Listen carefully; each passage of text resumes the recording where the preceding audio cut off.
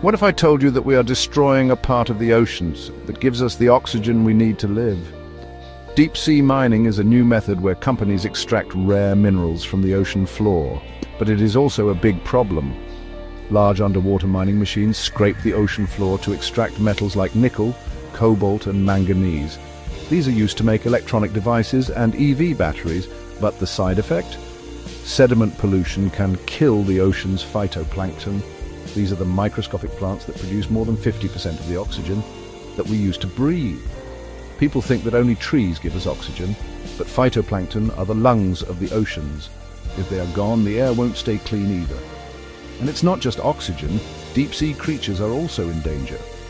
These strange and rare creatures might go extinct because of mining.